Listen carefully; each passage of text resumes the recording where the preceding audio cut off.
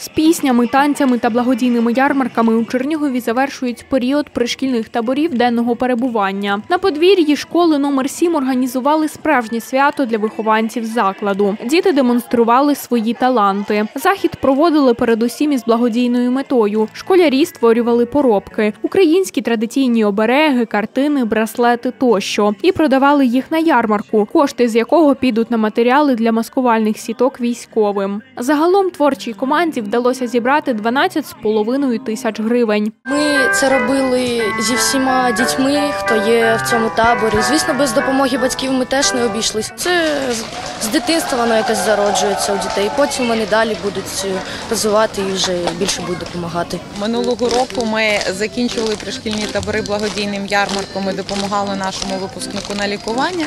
А цього року ми вирішили не відступати від цієї традиції і допомогти його сестрі, яка є головою благодійного фонду. Е, Дівчата займаються тим, що вони плетуть сітки.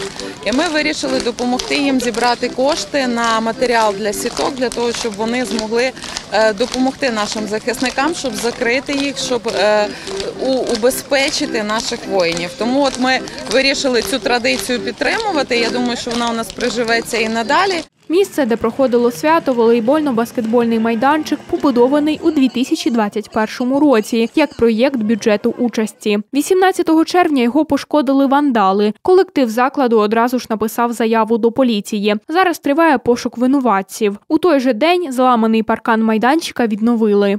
В перспективі дві секції ось цієї огорожі треба буде замінювати, враховуючи, що огорожа е, в середньому коштує десь 2000 гривень секція, то ну досить серйозна.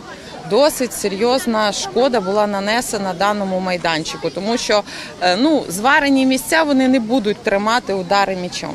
Нагадаємо, пришкільні табори у чернігівських навчальних закладах діяли з 3 по 21 червня. На юних чернігівців чекало безліч активностей. Вони відвідували екскурсії, брали участь у тренінгах, ходили до бібліотек, займалися спортом. Батьки ж тішаться, що, попри повномасштабне вторгнення, їхні діти мають можливість розвиватися і здобувати корисні знання, які знадобляться у майбутньому. Їм дуже тут подобається, е, дуже гарно, гарне ставлення до них, дуже багато цікавих речей вони робили, і спортивні змагання, і е, різні поробки.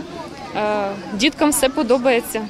Загалом цьогоріч батьки подали до пришкільних таборів 4252 заяви. З них 3387 – діти пільгових категорій.